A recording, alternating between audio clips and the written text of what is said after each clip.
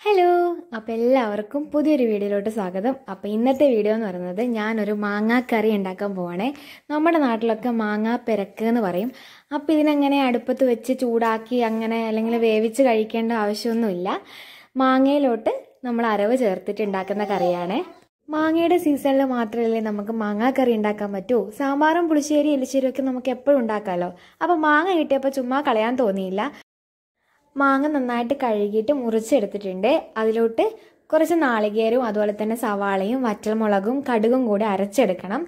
ആദ്യമേ കടുകിട്ട് അരക്കാൻ പാടില്ല. അങ്ങനെയാണെങ്കിൽ കടുകിന്റെ ആ ഒരു കയ്പ്പ് രുചി നമുക്ക് കിട്ടും. അതുകൊണ്ട് തന്നെ അവസാനം ജസ്റ്റ് ഒന്ന് കടുകിട്ടൊന്ന് അരച്ചെടുത്താൽ മതി. ബാക്കിയൊക്കെ ആദ്യമേ എടുത്ത് അരച്ചെടുക്കുക. ഈ അരവ് നമ്മൾ മാങ്ങയിലോട്ട് ചേർക്കുക. കുറേ പേര് മാങ്ങ കൊണ്ട് നല്ല മാമ്പഴ പുളിശ്ശേരിയൊക്കെ ഉണ്ടാക്കാറുണ്ട്. അപ്പോൾ അടുത്ത തവണ നമുക്ക് അതൊന്ന് ട്രൈ ചെയ്യാം. കൂടാതെ ഇതിൽ തന്നെ വറുത്തിട്ടിട്ടും കുറേ പേര് ആക്കിയിട്ട് കാണാറുണ്ട്. അപ്പോൾ ഞാനിതൊന്നും ചെയ്തില്ല. ഞാൻ വളരെ സിമ്പിളായിട്ട് ഉണ്ടാക്കിയതാണ്. അപ്പോൾ എല്ലാവരും മാങ്ങ കിട്ടുവാണെങ്കിൽ വീട്ടിലൊന്ന് എന്തായാലും ട്രൈ ചെയ്ത് നോക്കണം കേട്ടോ. അടിപൊളിയാണ്. അപ്പോൾ ഇന്നത്തെ വീഡിയോ ഇത്രയേ ഉള്ളൂ. എല്ലാവർക്കും ഇഷ്ടമായെന്ന് വരക്കുന്നു ബൈ ബൈ